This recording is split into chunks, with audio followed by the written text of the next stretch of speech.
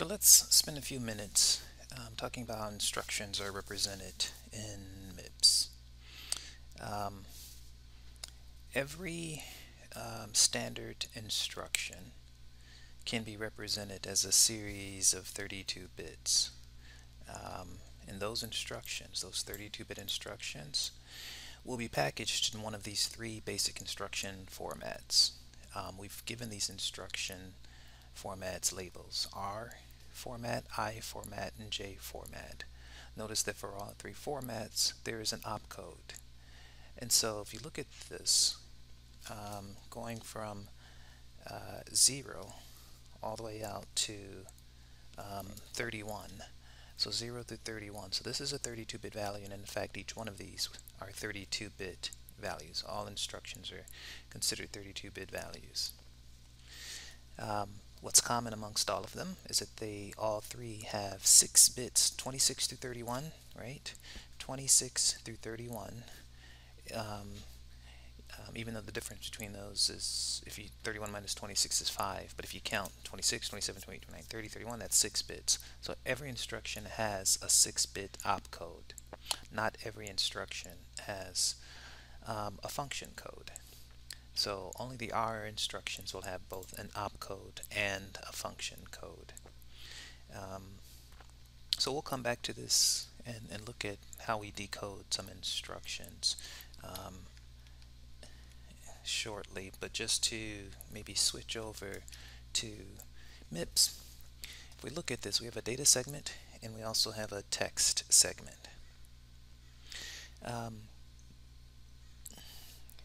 and so this this series of instructions, there's an add immediate, add immediate, and there is an add instruction. So let me put this instruction up here. I'll put in an add instruction right there. Now notice that the add immediate instructions have immediate values. Um, right? There's a number that's there that will be embedded in the instruction and then the add instruction just simply has registers. So um, before we dig into the lecture, let's just kind of do a quick example to talk about instructions or show examples of instructions and how they're represented. So notice, let's go ahead and use our magnifier here. Notice that we have our add, where we're adding registers. Um, they all happen to be the same. S1, S1, S1, and then we have our add immediate. And if we look over here to the left, you see that the most basic implementation of that instruction or use of the instruction is number one, if we use the register numbers versus the register names, we can see those differences. And if you see the add immediate, the dollar sign 4, dollar sign 0 certainly indicate A0 and register 0, but notice that there is an immediate value. So, and in this immediate value, if you were to look at this closely, you'd see that there are 16 bits. Um, and since, well, this is a hex value, so um, this hex value um, is is you'll we'll see in the I instruction format that there's a limitation as to how large this number can be and it certainly there has to be a limitation because we only have 32 bits to represent this information. If we go and look now at this code um, as a 32-bit value we can see the 02318820 for a simple add and then we can see a 0x2 um, the hex 200 um, for 0007. Notice that there's a 7 here and there's a 7 here. And then the next instruction, there's a 1 and there's a 1. So these instructions, um, certain instructions actually include the constant or the immediate value. Um, if I take that 7 and change that, maybe, let's say I make it a hex um, 1, 2, 3, 4. Um, so I'm going to go ahead and assemble this. Oops, let's undo this and put that number back in. So I'll make this a 0 hex 1, 2, 3, 4. and then I'll assemble it and if you look at my 1 2 3 4 that was put in there you'll see that it's embedded in the instruction so that's an immediate value it's an instruction that has the one of its operands already embedded into the instruction itself into the 32-bit value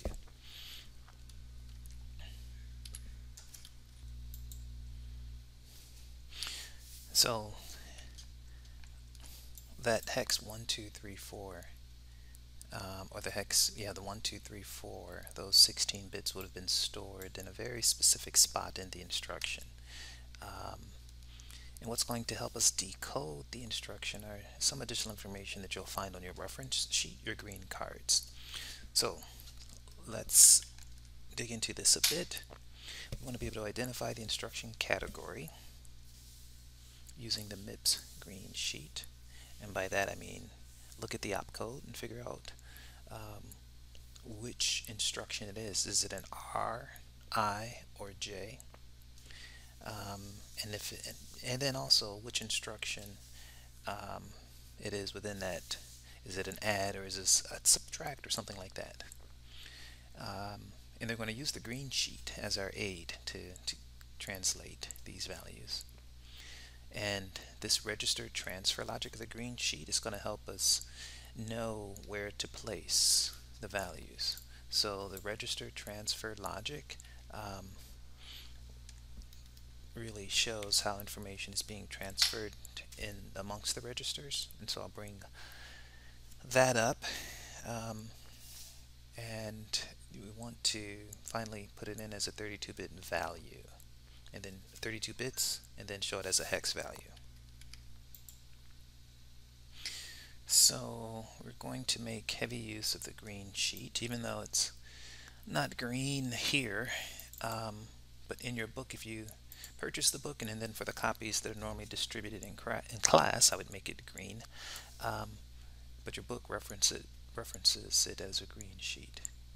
So by register transfer logic what I mean is that um, our instructions will work with typically uh, either one, two, or three different registers and which registers are being used, maybe for addition, and where that information is being stored. That's going to be indicated um, by this column here. So the way this green sheet is set up, you have the name, or, right, like such as an add, add immediate. Then you have a mnemonic, which you actually type in. You have the format, is it RI or is it a J type, typically a jump instruction, which would be a J type, and only a few of those. And then the immediate instructions will typically have some type of um, value, maybe a 16-bit value. Um, and then this column over here is going to indicate um, which one is the opcode and which one is the function. And as we just saw, not every instruction has an opcode and a function. Only the R types have an opcode and a function. So as we look at this, you'll see that there's an R type, he has an opcode and a function. Another R type, he has an opcode and a function. So that's not going to be every um, instruction that has an opcode and function. If you just simply see one number, then it's merely an opcode. What that means is that for an add immediate, um, the opcode that's going to fit into the 6 bits or be placed in is the value 8.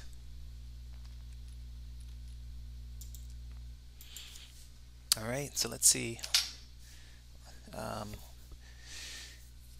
what we can do with this, right? Um, the R-type instructions, um, those are primarily um, values which have registers or operations between registers. So the R really just indicates which bits contain register information. Um, if you look at the R-type format, um, there's an opcode, but then there's RS, RT, and RD. Quite often we're not shifting instructions left or right, and then there's a function code. So the R instructions will have both an opcode and a function code. The I-type instructions. Um, again, it's primarily register information. This is the instruction, these are the registers we're operating with.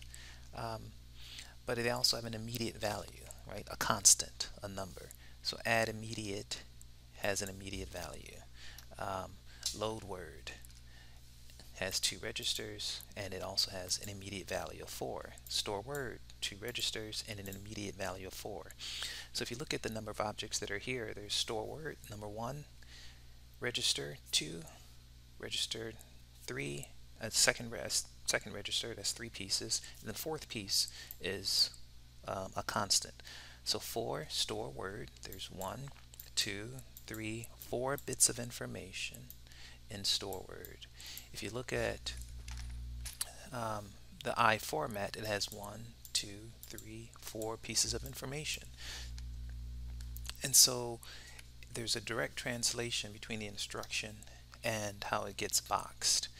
Um, well, and then we'll see um, J format instructions.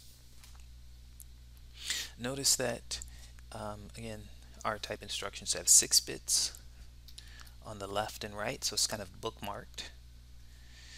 Um, so let's pull out the pen here, ink color, pen. So it has six bits. And um, and then it also has four 5-bit fields. So 5 times 4 is 20 for there, and then you have 6 and 6, so you're going to get uh, 32 bits altogether.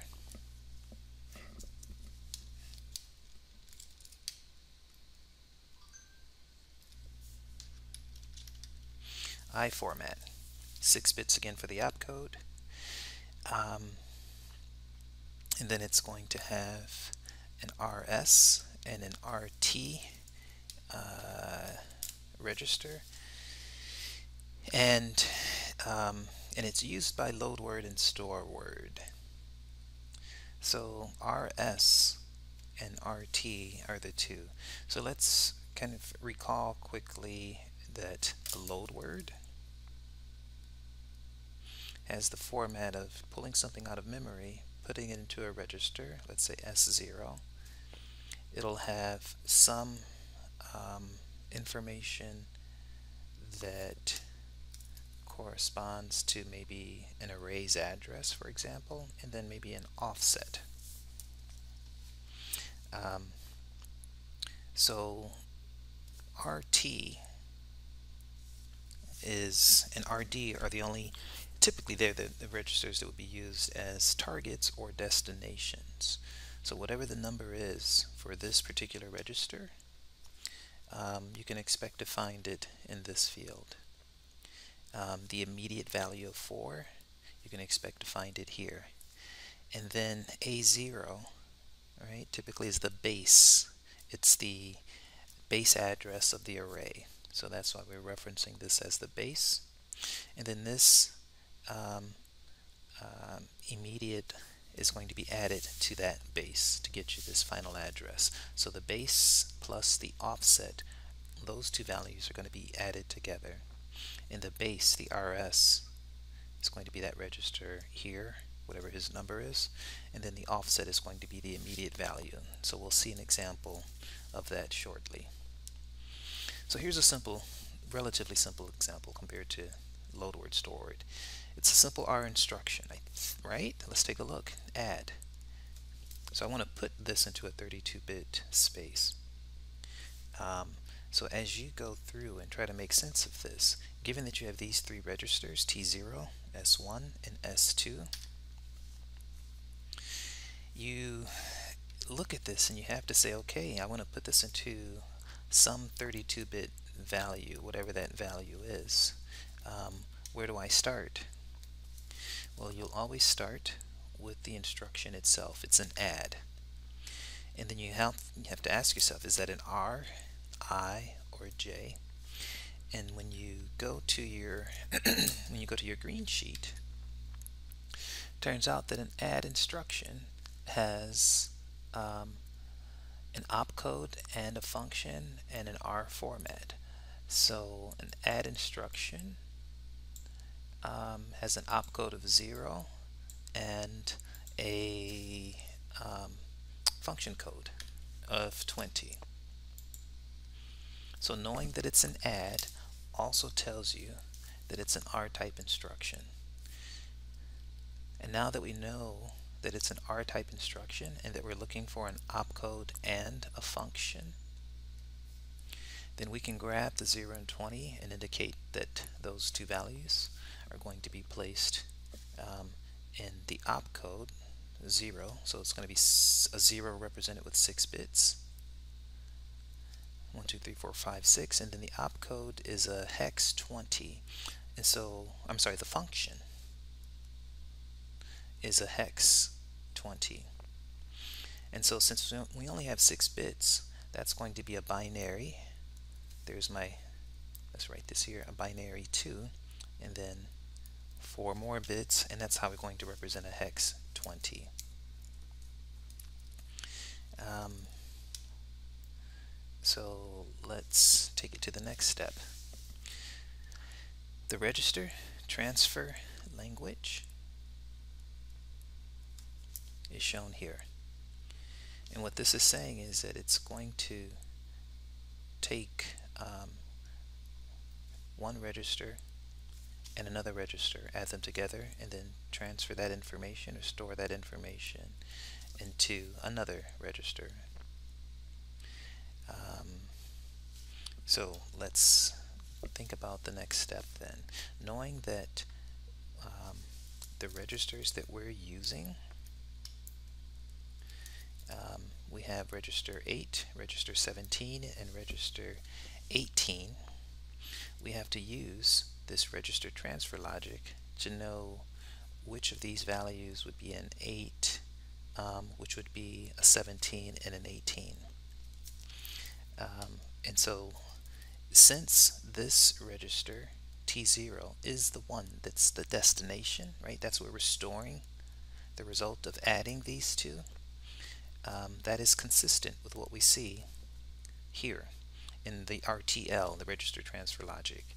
The RTL says um, T0 or register 8 is going to be the register that gets clobbered, that's the destination register.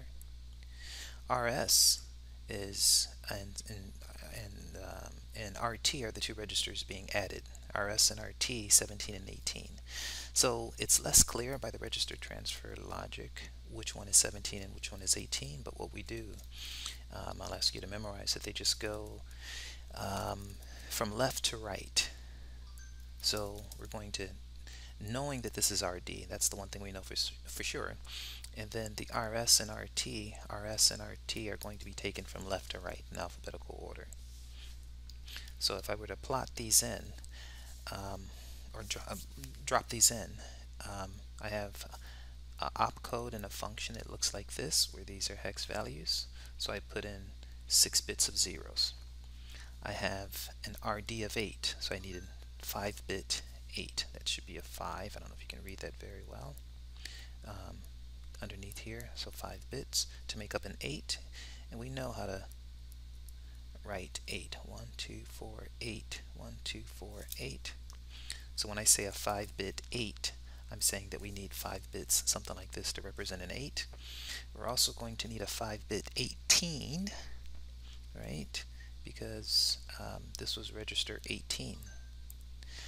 Um, so this add that we're working with, don't forget it was essentially this right here. I'm going to get rid of the mnemonics and just write the registers as numbers. It's equivalent. So 8, 17, and 18. Um, and so when we're doing the translation, we just put those values directly into their, their boxes. So an 18 um, with 5 bits, remember 1, 2, 4, 8, 16, so an 18 is going to be this with 5 bits. So we need to just put those 5 bits in its box. And so what we have is 17 here and then we have 18 here. And then we have an 8 1 2 4 8 here. And so we've done our translation. We've converted our instruction um, from its mnemonic with its registers and then we've taken those registers, assigned them boxes, then we've taken each one of those numbers that are placed in their boxes and, and put them into 30, uh, put them into um, bitwise values and ended up with a 32-bit value. So this instruction ends up being 023242020. Let's take a quick exa example. If I were to type in um, add dollar sign 8, dollar sign 17, dollar sign 18, will I end up with a 2324020? So I'm going to modify this code that we're working with and I'm going to do I'll type the instruction here add dollar sign 8 dollar sign 17 dollar sign 18 um, so that's the instruction um, the equivalent instruction and uh, T0, S1, S2, T0, S1, and S2. T0, S1, and S2.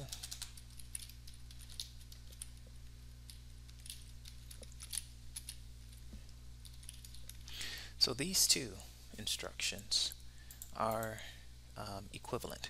Just to give me some space, I'll just do a no-op instruction. That instruction is really just a 32-bit zero.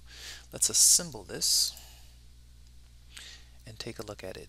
Um, I think uh, T0, T1, and S2, let's make sure I got those correct. Uh, one of those is wrong and it is T1 so let's fix that yep that should be T0 S1 S2 so T0 S1 S2 and let's assemble this and maybe try to magnify this a bit um, I'll use 200%, 300%, 200% magnification. So this is what I typed in, T0, S1, S2. I also typed in 8, 17, and 18. Notice that these two, as far as basic instruction representation goes, they're exactly the same.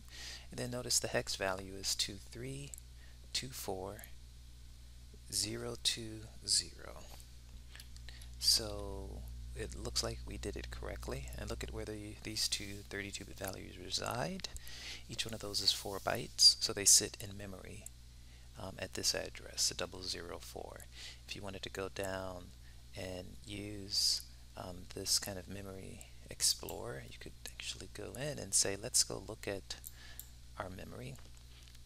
And um, what you'll see is um, the first two instructions are stored in memory, the 2324020, and the second one was a duplicate. There's our no-op, our no-op, our no-op, and then the next instruction, which happened to be a 231880, and that was this guy here, S1, S1, 231880. So those instructions in order can also be found um, in memory at this address.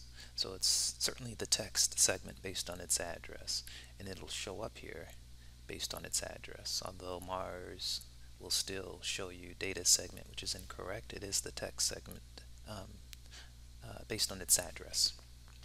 So that's our simple conversion of an R-type instruction. And whether it's an add or a subtraction, um, they will follow that similar pattern.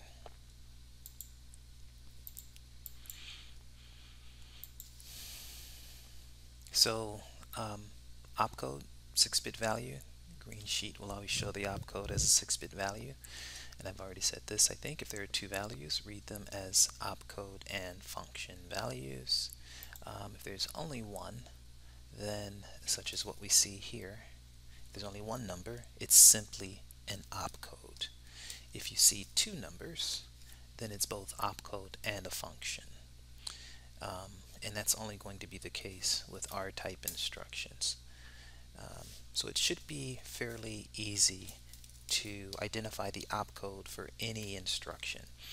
Um, because if it's an add, you'll see that the opcode is a 0. If it's an add immediate, it's an opcode of 8. If it's an add immediate unsigned, it's an opcode of 9. If it's an AND immediate, it's an opcode of C or 12. Um, so the next um, thing that we're going to look at will be a load word and how you would translate a load word.